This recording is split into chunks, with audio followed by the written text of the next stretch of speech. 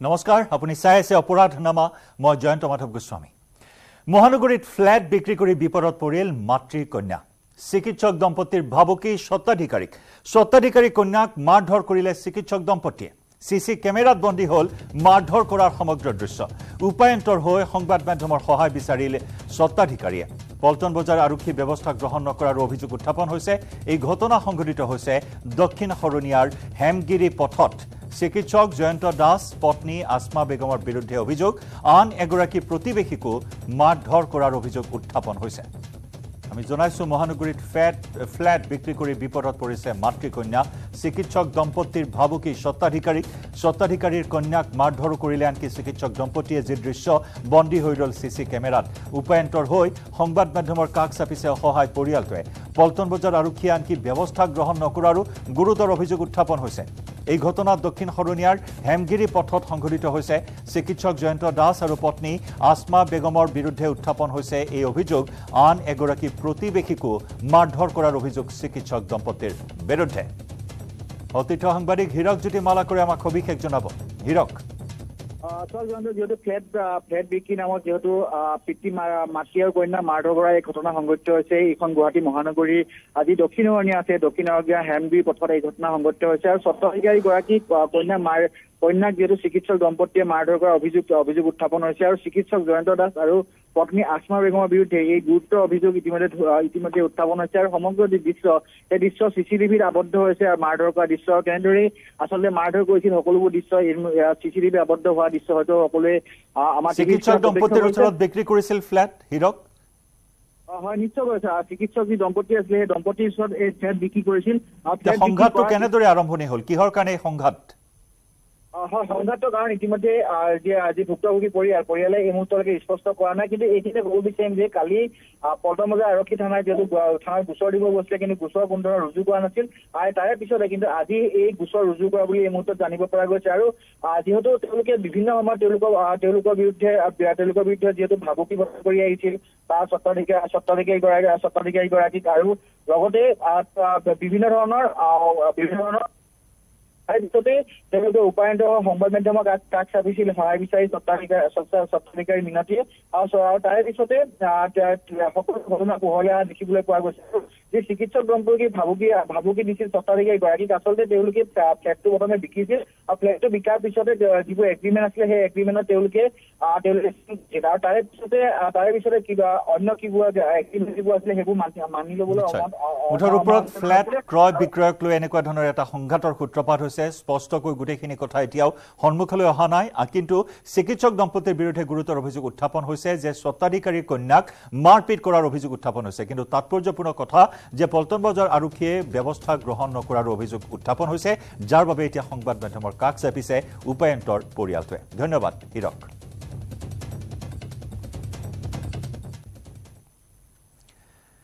জন্মনী ৰাভাৰ দুৰ্ঘটনাগ্ৰস্ত বাহনখনত উদ্ধাৰ হোৱা দুটা মোবাইলক লৈ শেষ হোৱা নাই এতিয়াও ৰহস্য। এটা মোবাইল ফোন জন্মনীৰ বুলি চি বি আই নিশ্চিত হৈছে যদিও আনটো মোবাইলক লৈ ৰহস্য অব্যাহত আছে। দুয়োটা মোবাইল ফোন ফৰেঞ্চিক পৰীক্ষাগাৰলৈ প্ৰেৰণ কৰিছে তদন্তকাৰী চি বি আইয়ে। দুৰ্ঘটনাৰ সময়ত জন্মনীৰ গাড়ীত আন এজন লোক থকা বুলি সন্দেহ প্ৰকাশ কৰিছে চি বি আইয়ে। এই সন্দৰ্ভত দ্বিতীয়জন লোকৰে আনটো মোবাইল হ'ব পাৰে বুলিও সন্দেহ কৰা হৈছে।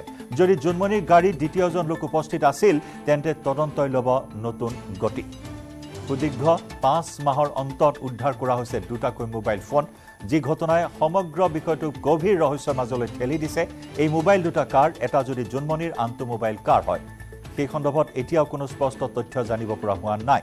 পাঁচ মাহে কিয় ইমান দিনৰ সময়ৰ প্ৰয়োজন হ'ল মোবাইল দুটা উদ্ধাৰ কৰিবলৈ কাৰণ এবাৰ এবাৰকৈ চি বি আইয়ে ইয়াৰ পূৰ্বে পাঁচবাৰকৈ নিৰীক্ষণ কৰিছিল দুৰ্ঘটনাগ্ৰস্ত গাড়ীখন। ইয়াৰ পূৰ্বে চি আই ডিয়ে চলাইছিল তদন্ত। তাৰ পূৰ্বে নগাঁও আৰক্ষীয়ে তন্ন তন্নকৈ অভিযান চলাইছিল। দুটা মোবাইল উদ্ধাৰ হোৱা বিষয়টোৱে কিন্তু অধিক ৰহস্য ঘন কৰি তুলিছে সমগ্ৰ বিষয়।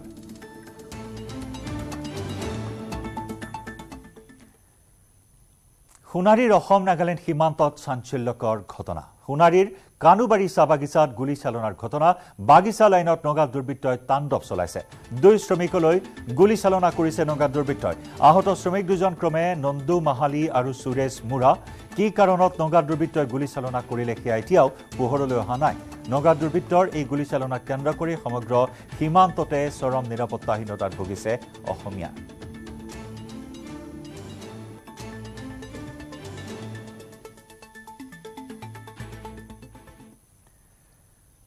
গোলাঘাটত ড্ৰাগছ বিৰোধী অভিযান। এই অভিযানত জব্দ কৰা হৈছে দুই লক্ষাধিক টকাৰ হেৰইন। দুই ড্ৰাগছ সৰবৰাহকাৰীক আটক কৰে আৰক্ষীয়ে। দুই ধৃত মৃণাল বৰা আৰু মহম্মদ আলী জব্দ কৰা হয় কেইবাখনো চাৰিচকীয়া বিলাসী বাহন এখন বাইক আৰু স্কুটিও জব্দ কৰে আৰক্ষীয়ে। গোলাঘাটৰ কলেজ তিনিআলিৰ সমীপত এটা বাসগৃহত অভিযান চলোৱা হৈছে। উল্লেখযোগ্য যে দীৰ্ঘদিন ধৰি মৃণাল বৰাই ড্ৰাগছৰ এক বিশাল সাম্ৰাজ্য গঢ় দিছিল গোলাঘাট নগৰত।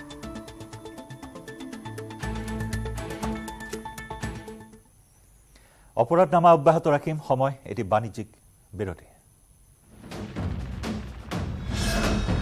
ভাৰতৰ গৌৰৱ গোটেই বিশ্বতেই ইয়াৰ সন্মান। ষ্ট্ৰং মানে মাইথান ষ্টীল।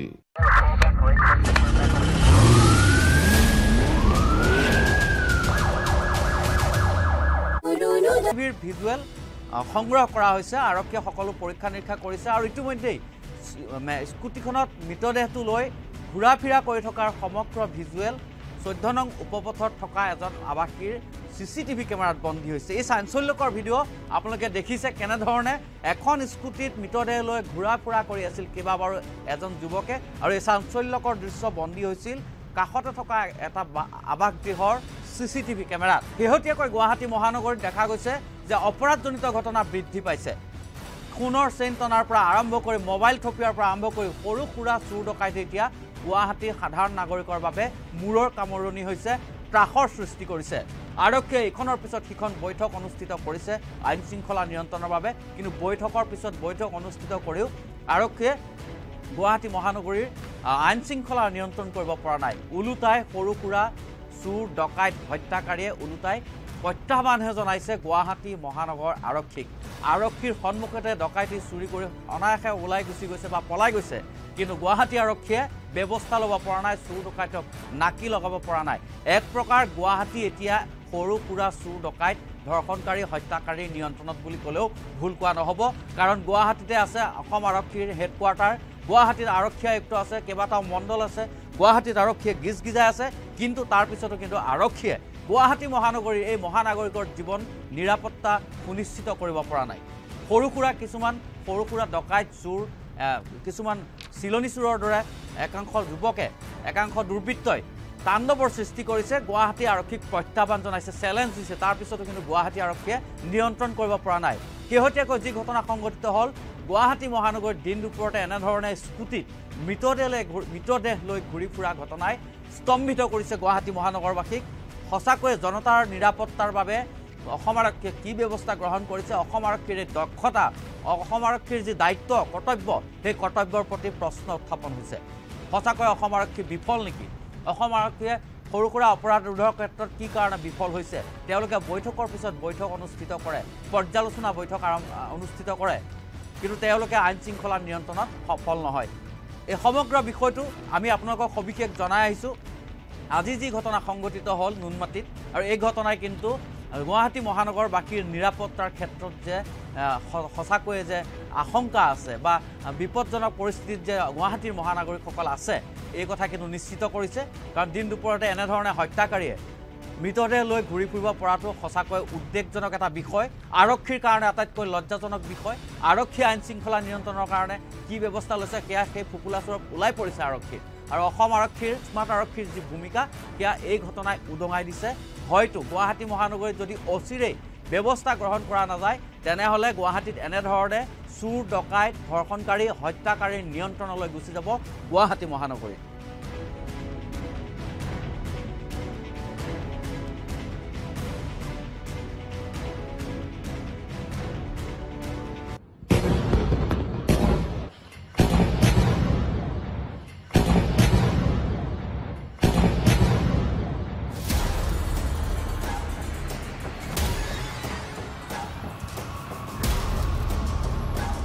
নমস্কাৰ প্ৰিয় দৰ্শক।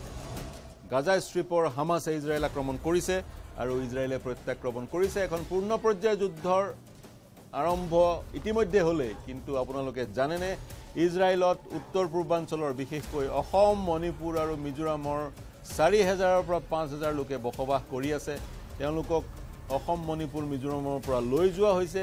আৰু নাগৰিকত্ব প্ৰদান কৰা হৈছে ঘৰ প্ৰদান কৰা হৈছে থাকিবলৈ ঘৰ দিয়া হৈছে আৰু বিভিন্ন কামত নিয়োজিত কৰা হৈছে। সেনা বাহিনীত নিয়োজিত হৈছে অন্যান্য কামত তেওঁলোকক নিয়োজিত কৰা হৈছে আৰু তেওঁলোকক স্থানীয় বাসিন্দাৰ মৰ্যাদা প্ৰদান কৰা হৈছে কিন্তু কিয়?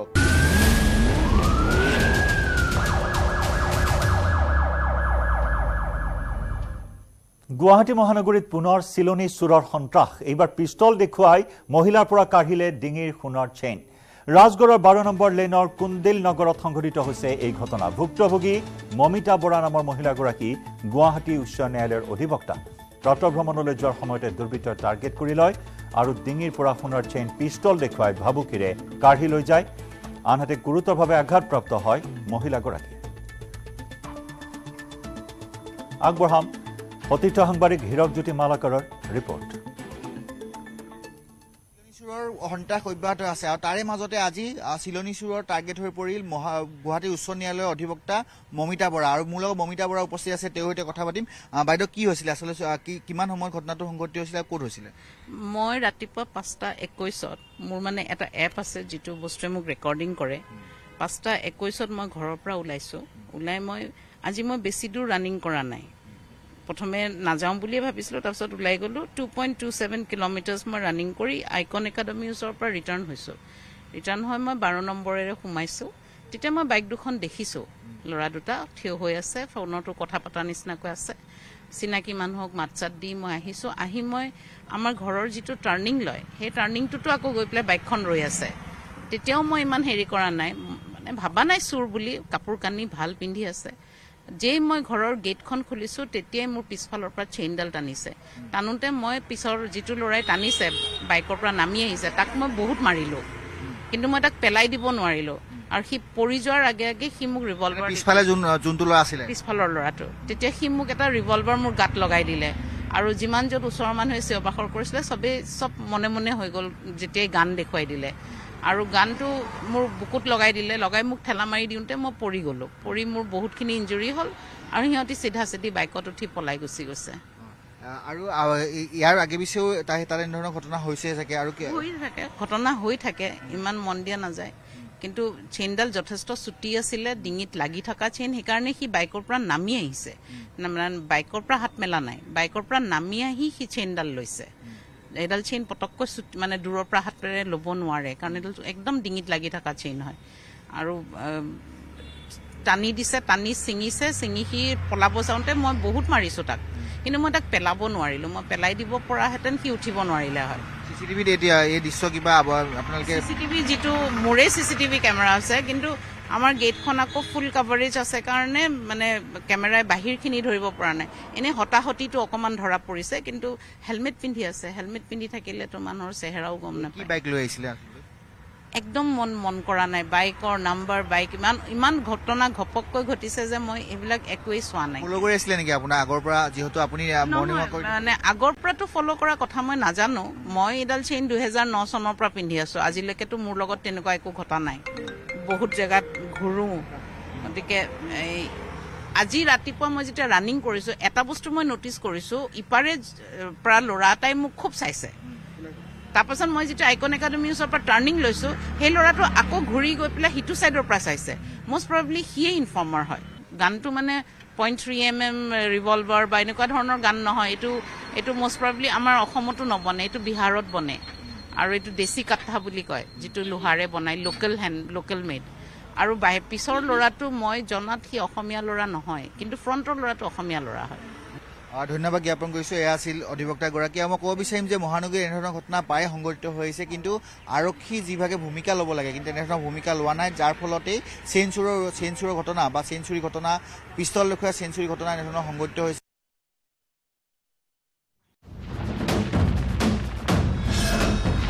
ভাৰতৰ গৌৰৱ গোটেই বিশ্বতেই ইয়াৰ সন্মান ষ্ট্ৰং মানে মাইথান ষ্টীল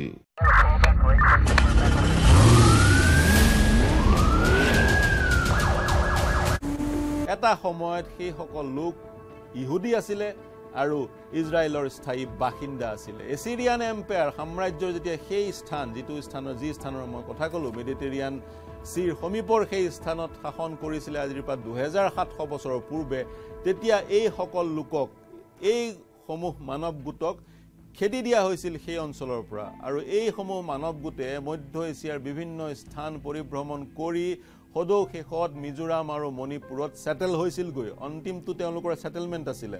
আৰু তেওঁলোকৰ ঠাল ঠেঙুলিটো বা তেওঁলোকৰ যি জেনেচিছটো বা তেওঁলোকৰ যি থাল সেই থাল মিজো কুকি চীনৰ বুলি বিভিন্ন সময়ত কোৱা হয়। আৰু মিজোৰাম মণিপুৰ আৰু অস- মিজোৰাম আৰু মণিপুৰ স্থায়ীভাৱে বাস কৰাৰ পিছত সেইসকল লোক অসমতো বিভিন্ন সময়ত প্ৰব্ৰজিত হৈছিল। কিন্তু এতিয়া ইজৰাইলে আৰম্ভ কৰিলে সেইসমূহ তেওঁলোকৰ পৰা আঁতৰি যোৱা সেইসমূহ জনগোটক বিচাৰিবলৈ। চিনাক্ত কৰিলে দহটা ট্ৰাইবৰ দহটা জনগোষ্ঠীৰ দহটা জনগোষ্ঠী চিনাক্ত কৰা হ'ল যিকেইটাৰ নাম দিয়া হ'ল লছ ট্ৰাইব। বিশ্বৰ বিভিন্ন স্থানত সিঁচৰিত হৈ থকা দহটা জনগোটক চিনাক্ত কৰা হ'ল আৰু চিনাক্ত কৰা হ'ল তেওঁলোকৰ উপাসনা পদ্ধতি তেওঁলোকৰ জীৱনশৈলীৰ অধ্যয়ন কৰি। ম- মিজোৰাম আৰু মণিপুৰৰ চি চীন কুকি আৰু মিজো চীন কুকি জনগোষ্ঠীয় এই মানৱ গোটসমূহৰো জীৱনশৈলী উপাসনাৰ পদ্ধতিত সাদৃশ্য পোৱা গ'ল আৰু এখন দুহেজাৰ পাঁচ চনত এখন আদালতে ইজৰাইলৰ এখন আদালতে এই সেইসকল লোক এসময়ৰ ইজৰাইলৰ স্থানীয় লোক হিচাপে চিহ্নিত কৰি এক ৰায় প্ৰদান কৰিলে। এই সকলোকে মূলতঃ টিবেটো বাৰ্মিজ ভাষা কয়। কিন্তু তেওঁলোকক যিহেতু এখন আদালতে চিহ্নিত কৰাৰ পিছত তেওঁলোকক ইজৰাইললৈ লৈ যোৱা হ'ল প্ৰায় চাৰি হাজাৰৰ পৰা পাঁচ হাজাৰ লোক ইজৰাইললৈ গ'ল। মই পুনৰ কৈছোঁ নাগৰিকত্ব প্ৰদান কৰা হ'ল বিভিন্ন কাম দিয়া হ'ল তেওঁলোকক প্ৰশিক্ষণ দিয়া হ'ল ভাষা শিকোৱা হ'ল ইজৰাইলৰ লোকসকলৰ যি জীৱনশৈলী জীৱনশৈলীৰ বিষয়ে অৱগত কৰা হ'ল আৰু সেই প্ৰশিক্ষণ দি তেওঁলোকক ইজৰাইলৰ সমাজ জীৱনৰ সৈতে একাকাৰ কৰাৰ এক চেষ্টা কৰা হ'ল। বন্ধ কৰিব। আৰু তেনেধৰণৰ সাত হাজাৰ লোক এই অঞ্চলটোত অসম মিজোৰাম আৰু মণিপুৰত চিহ্নিত কৰি থোৱা হৈছে আৰু তেওঁলোকে এতিয়া অপেক্ষা কৰি আছে ইজৰাইল যাবলৈ। তেওঁলোকে তিনি হাজাৰ বছৰৰ আগতে এৰি অহা ভূখণ্ডলৈ যাবলৈ সেই ভূখণ্ডত পুনৰ বসতি কৰিবলৈ স্থানীয় ৰূপত তেওঁলোকে অপেক্ষা কৰি আছে। মহাৰাষ্ট্ৰৰ এটা গোট আছে এই গোটসমূহক বানেই মেনা মেনাছে বুলি কোৱা হয়। বানেই মেনাছে যদি মই শুদ্ধকৈ প্ৰনাউন্স কৰিছোঁ মহাৰাষ্ট্ৰত এটা গোট গোট আছে তেওঁলোকেও নিজকে ইজৰাইলৰ বুলি দাবী কৰে। তিনি হাজাৰ বছৰ আগতে তেওঁলোকক ইজৰাইলৰ পৰা খেদি পঠিওৱা হৈছিল বুলি দাবী কৰে আৰু তেওঁলোকে বিভিন্ন সময়ত ইজৰাইললৈ যাবলৈ চেষ্টা কৰি আছে। উত্তৰ পূৰ্বাঞ্চলৰ এই চাৰি হাজাৰ লোকক ছটা বেটছত বিভিন্ন সময়ত ইজৰাইললৈ লৈ যোৱা হ'ল। তেওঁলোকৰ যি বাইবেল সম্বন্ধীয় যি সম্পৰ্ক সেই সম্পৰ্ক এষ্টাব্লিছ হোৱাৰ পিছত তেওঁলোকক তালৈ লৈ যোৱা হ'ল। আৰু এতিয়া যিহেতু ইজৰাইলত তেওঁলোক আছে আৰু ইজৰাইলে যুদ্ধ আৰম্ভ কৰিছে। ইতিমধ্যে ইজৰাইলৰ ৰাষ্ট্ৰ প্ৰধানগৰাকীয়ে আৰম- ঘোষণাই কৰিলে যে this is an state of war আৰু এক অভূতপূৰ্ব প্ৰত্যাক্ৰমণ গাজা ষ্ট্ৰীপত কৰা হ'ব আৰু গাজা ষ্ট্ৰীপৰ হামাছক এটা শিক্ষা দিয়া হ'ব বুলি ইতিমধ্যে ইজৰাইলৰ ৰাষ্ট্ৰপ্ৰধানে ঘোষণা কৰিছে। গতিকে এই যুদ্ধত উত্তৰ পূৰ্বাঞ্চলৰ পৰা যোৱা যিসকল লোকে নিউ লোক নিয়োজিত হৈছে ডিফেন্স ছাৰ্ভিচেছত তেওঁলোকো ওতঃপ্ৰোতভাৱে জড়িত হৈ পৰিব। কিন্তু মন কৰিব যি ভূমি তেওঁলোকে দুহেজাৰ সাতশ বছৰ আগতে এৰি আহিছিল সেই ভূমিলৈ পুনৰ তেওঁলোক ঘূৰি যাবলৈ আৰম্ভ কৰিছে দুহেজাৰ পাঁচৰ পিছৰ পৰা। প্ৰিয় দৰ্শক এই বিশ্লেষণৰ অৱকাশ পালোঁ কাৰণ ইজৰাইলৰ প্ৰসংগই শিৰোনাম দখল কৰিছিল। এই বিশ্লেষণ কেনে পালে জনাব? কিবা প্ৰশ্ন থাকিলে সুধিব। বিশেষজ্ঞৰ যোগেদি সেই প্ৰশ্ন উত্তৰ দিবলৈ আমি চেষ্টা কৰিম। সমালোচনা কৰি থাকিব মন্তব্য কৰি থাকিব আপোনালোকৰ সমালোচনা মন্তব্য আমাৰ কাৰণে চালিকা শক্তি।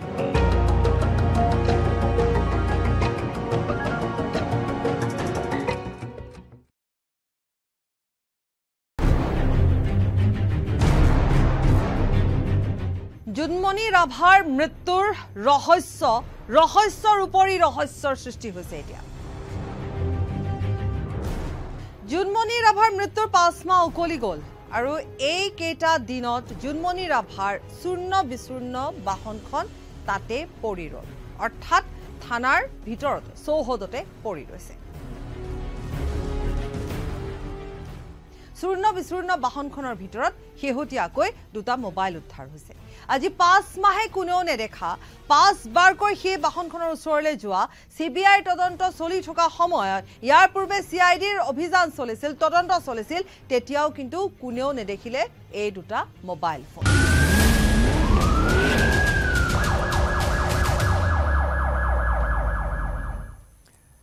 নুনমাটিৰ ৰোহিত দৰ্জীৰ মৃত্যুৰ ন ন তথ্য পোহৰলৈ। ড্ৰাগছৰ অভাৰড'জৰ বাবে ৰোহিতৰ মৃত্যুৰ সন্দেহ। মৃত ৰোহিতৰ শৰীৰত নাই কোনো আঘাতৰ চিন। অভিযুক্ত শুভ্ৰজিৎ বৰাক খানাপাৰাৰ পৰা গ্ৰেপ্তাৰ কৰা হৈছে।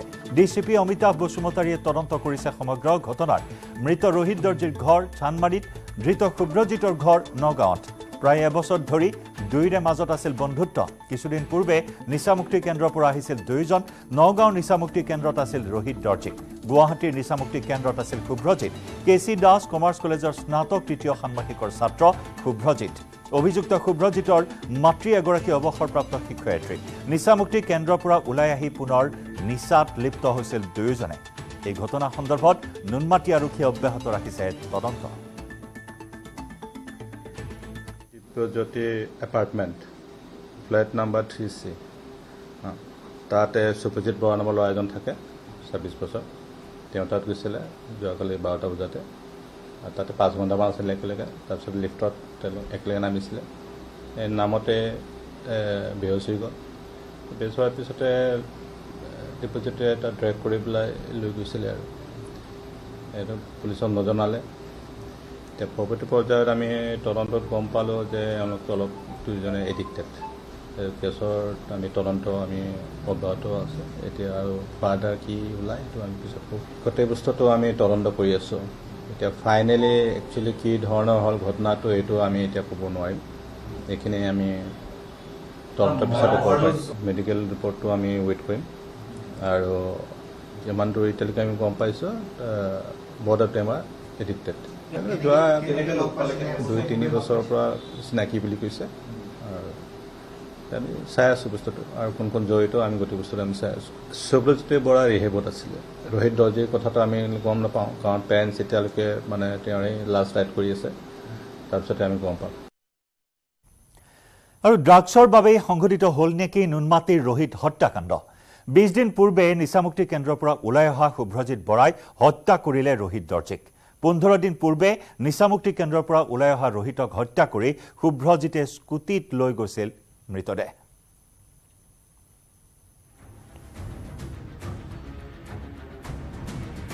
নুনমাটিৰ হত্যাকাণ্ড এতিয়া ৰাজ্য জোকাৰিছে এজন যুৱকক হত্যা কৰি স্কুটিৰ পিছফালে উঠাই ঘূৰাই লৈ ফুৰিছিল আন এজন যুৱক। আৰু এই হত্যাকাণ্ডৰ কিছু নতুন তথ্য সন্মুখলৈ আহিছে। কালি সন্ধিয়াৰ ভাগৰ এই ঘটনা আছিল তাৰ পাছতে চাঞ্চল্যৰ সৃষ্টি হ'ল। আমি বাতৰিও সম্প্ৰচাৰ কৰিলোঁ। অৱশেষত শেহতীয়া আপডেটবোৰ সন্মুখলৈ আহিছে। ৰোহিত দৰ্জী যিজনক হত্যা কৰা হ'ল। ৰোহিত দৰ্জীক হত্যা কৰা স্থান ইতিমধ্যে চিনাক্ত কৰা হৈছে।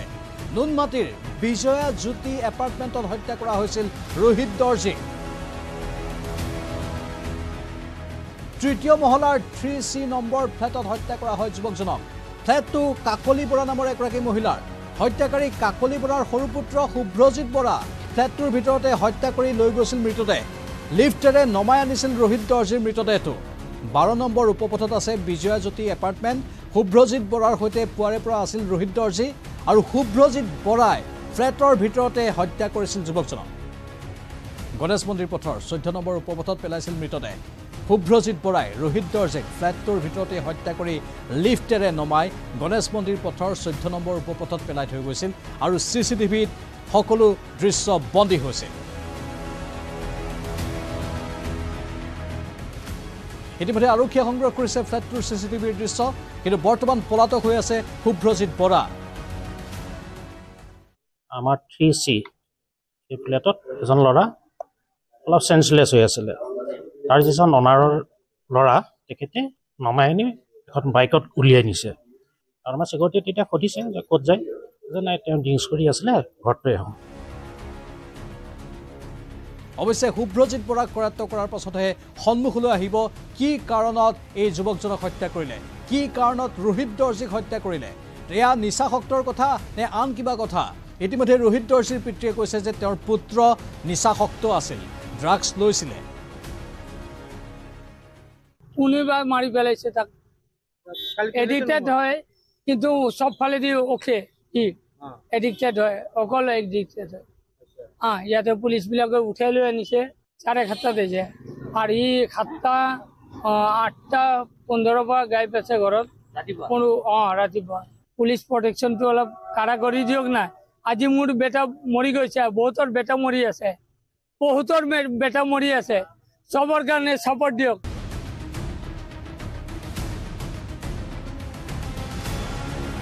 এই শুভ্ৰজিৎ বৰা নামৰ যুৱকজনেও ড্ৰাগছ সেৱন কৰিছিল নেকি? তাক লৈ এতিয়া স্বাভাৱিকতে প্ৰশ্ন উঠিছে। কিন্তু এতিয়া শুভ্ৰজিৎ বৰাক কৰায়ত্ব কৰাৰ পাছতে স্পষ্ট হ'ব যে এই হত্যাকাণ্ডৰ প্ৰকৃত কাৰণ কি আছে কিয় হত্যা কৰা হ'ল ৰোহিত দৰ্জী নামৰ যুৱকজনক? কিন্তু এই ঘটনাই চাঞ্চল্যৰ সৃষ্টি কৰিছে।